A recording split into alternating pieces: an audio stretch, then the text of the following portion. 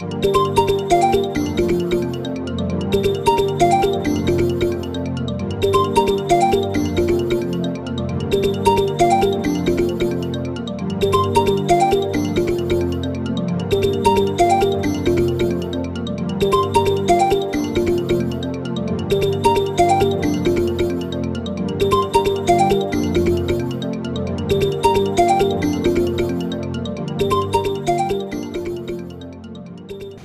My name is Walter Okol. I am the Chief Executive Officer of Agrisol Africa Limited.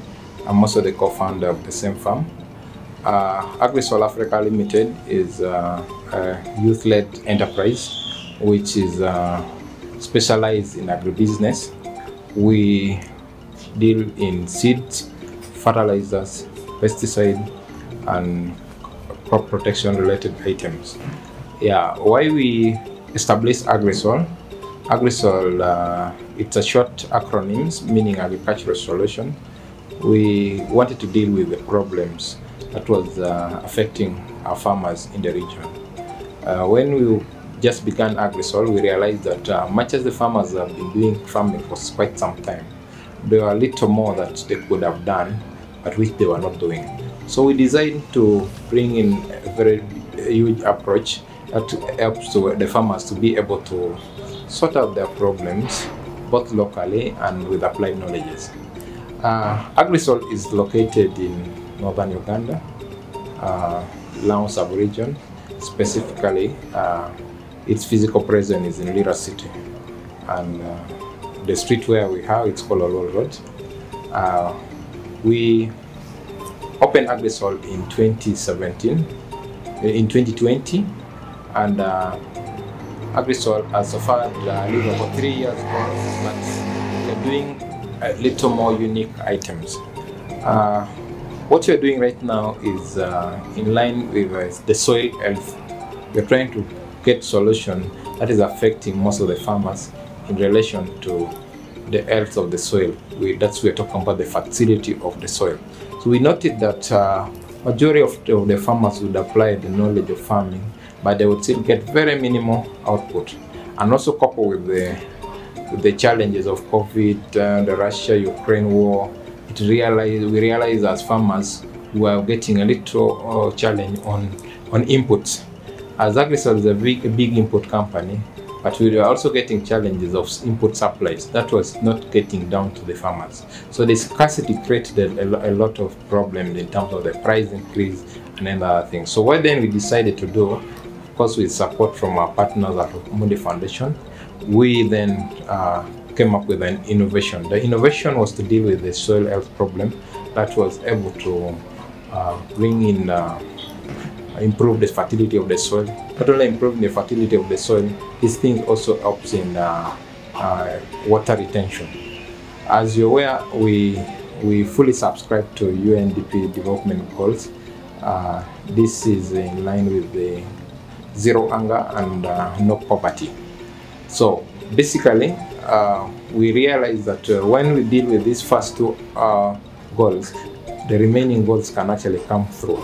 So as Agrisol, we backpeg our, our strategies in uh, ensuring that first of all we eliminate poverty, then number two also we minimize the hunger issue, which is so common. Uh, when COVID and when COVID and the Russia-Ukraine happened, we, we noted that uh, the food prices had increased. So when the food price increased, we, we suffered as farmers, we suffered in uh, whatever which was being produced was not coming to maximum. Each and every one acre of maize ideally supposed to give a farmer about 25 bags of uh, sorted uh, grains. But then the farmer can only realize about eight bags. So what we did was to come up with a solution. This solution was to make at least an increment of about 40% of what the farmer is getting right now. Uh, so number one is that we had to develop a simpler form a solution that we are calling a technology that we are calling Nipocase.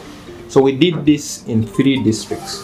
And doing this in three districts, uh, selected districts in northern Uganda, and we strategically uh, position ourselves in Oyam, We did it in Kole. We also did it in Lira.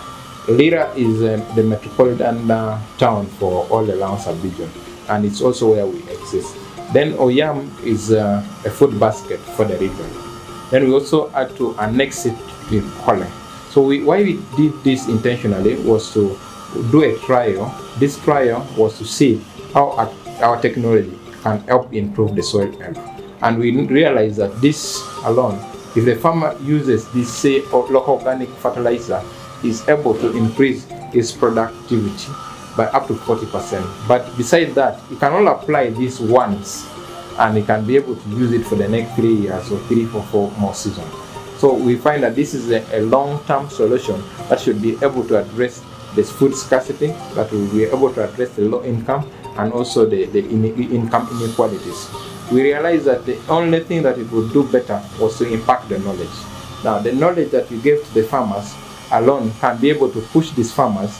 Uh, first, they can do it as a business. For those who cannot be able to do it, these farmers who we've trained can be able to do it for them and they get some little penny out of this. But also, uh, looking at the sustainability component, we also realized that this was the best way a farmer can locally use, first of all, to deal with the, the environmental content uh, issues and, and use the local available material, which in other words translate to uh, garbage and rubbish, but we then we can change those things into useful form. This then comes from the, the garbage that are being disposed. Instead of littering the environment, can actually change into a useful form that can actually be applied in the garden. And once it's applied in the garden, then the farmer input or the farmer's uh, output is, is improved. But also beside that, that the environment also is maintained clean. So we're actually dealing with so many things in just one single technology. Nyano loni atala Janet, aya maitan council. Te grupu loni atake wadwa tweyotai wang tich. Alimo ni oyomo yia matek.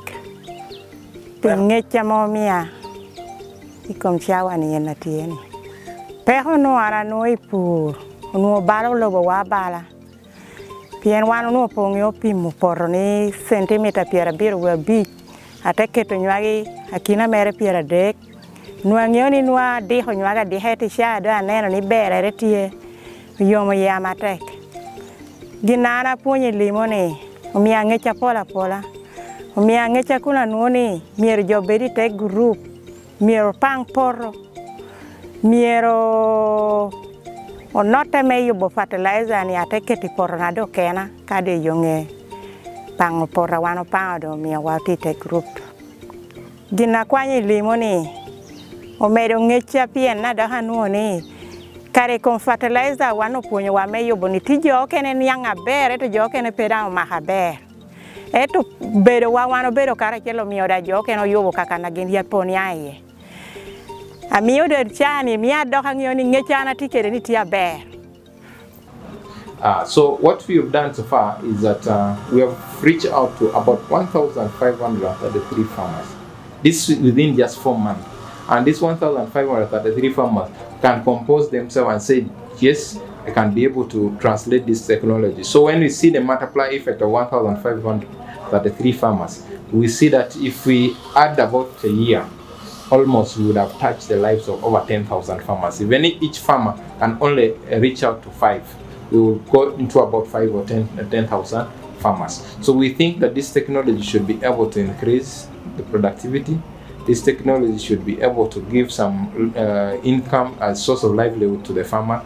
And this technology, for those who have taken this interest, keen interest, they should not be regretting. So we, we, we appeal to all the farmers. We actually gave this on a, humanitarian ground as part of our corporate responsibility, but also uh, uh, as, as an innovation that involved the youth and the, the young mothers who are out there but also we also look at this in in, in aspect of um, doing an extension service. Because uh, we, we we realize that the only message that you can send to the farmer is when you do it in an extension approach where you begin from where they are and you, uh, later on you realize that these farmers can be able to to, to appreciate the knowledge when you, you give it to them from their own locality We have so far done some several exchange visits. We move farmers from different locations to go and see how their friends are doing. And they- I can assure you that these farmers are very excited and they're able to, to mark themselves and say that I think I have done it well, but my other friends have done it way better than we have done. So this, is- this is an approach that for us as Agrisol we're proud of. Kelo Tony Olure aya mach town council. Kuno ana bere dang lead farmer me po pira group. Ya bere yom matek me bini limo kan. Tu bora gina mane no kana no na limo wara ber matek yani sha tu ni poro. Wi ada dok te baloko te chako do neno gina jo e kan tia timo no ni jo e kan tia timo gina ber me kelo do velo dang binu wane mi ada akwa imo kene do we, we cannot forget that we, we had to make this possible with support from Alpha Mundi Foundation, our big partner. Of course, Alpha Mundi Foundation is implementing water and energy for food, which is our big um, big partner as well. But with support which is coming from the NORAD, it's coming from Netherlands government, coming from USAID, coming from GIZ, and all this has made this innovation possible as the courtesy from all our partners.